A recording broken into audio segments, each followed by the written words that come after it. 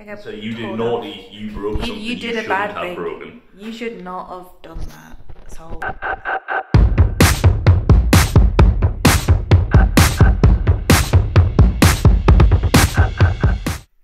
So it's Saturday, we haven't filmed for two days, and boy we wish we had off. So as you can see, we have a rather large channel dug into the concrete here to find out what the damp was. Now, as you can see, this is new pipe. shiny pipe. However, and the first piece of rope was here. It was met with a rather large jet of pressurised central heating water into my face, which was a joy. A big, there was a big dent here, we moved down. This was green, pressed together.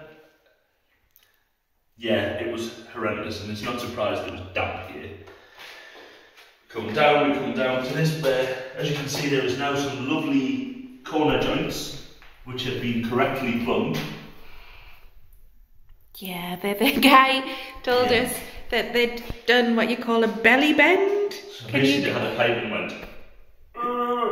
In the process, buggered the pipe, which didn't help, and it was all rotted and corroded.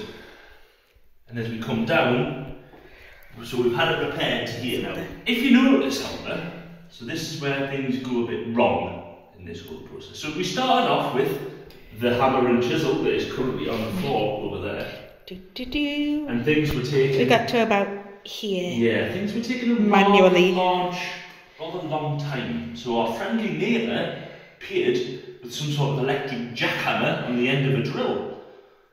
Brilliant. Until Gav decided to go all the way down, get to this corner, and we thought, "Ah, let's, we'll take this corner out and that'll be it. What we didn't realise was there's a gas pipe in here, which I jackhammered through with a live gas pipe. We thought it was a cable. We thought there were two. See this white electrical cable in this. We thought this was another cable coming out here. This is actually a very small gas pipe. So yeah, we sheared it off. That was fun. Well, it, it so it came off with this chunk of concrete that came here, as I was holding up, going, "What's this pipe?"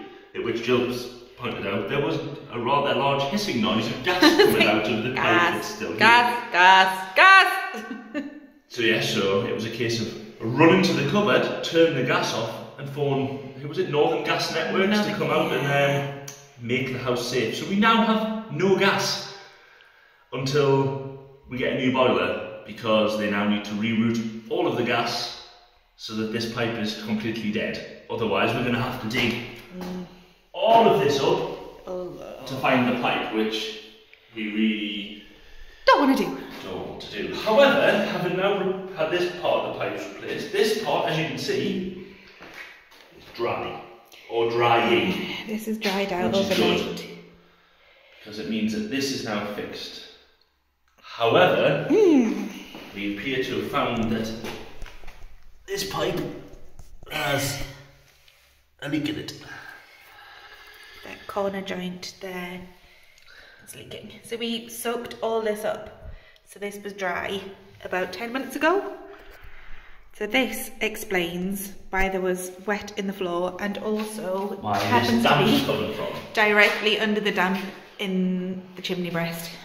So the next thing we're going to need to do is get our friendly neighbourhood plumber to basically replace those corner joints back up to here where it's already been replaced. So we're almost going to have an entirely new central heating system on this part of the ground floor.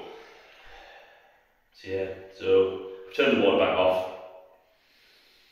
We, Really had, we thought we had to- water for like 24 hours. Yeah, we probably need to depressurise the radiator. I don't know how I did that because I think you put the pressure back in the system. I remember how we did it. Should we go do it? Uh, okay. Um, yeah. So we twiddle that knob. There we go. This is draining also draining under here. the radiator pressure. Mm. It's handy having the loo to sit on and the boiler well. right in your It has face. no other use. yeah. Oh, I don't like that. Doesn't want to focus on you there. Yeah. So when this stops running, there should be no more pressure in the radiators. I don't know why it's pointed back at the wall. It feels like a, a design flaw.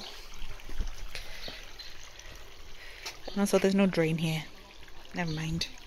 Yeah, because now that we've found out that actually there is no drainage to the site, and it is a soak away, which is joyous. Is it still coming out? Yep. Still going. Jibble, jibble, jibble.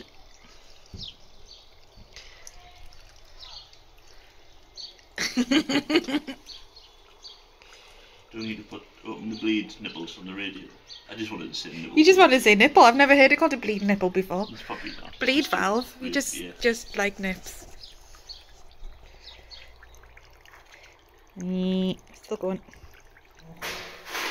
Show you the uh, the what the gas company did as well. Oh yeah, we now have a very big sign that says danger. It feels a bit like getting a bad report from a teacher. Yeah.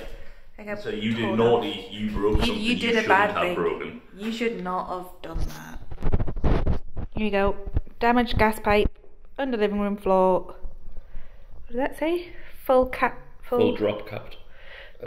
Yeah. So basically, they've capped it at the supply. So in here, we've also got a lovely yellow warning triangle on our gas supply. So they've capped off the entire mains. There we go. We have no gas.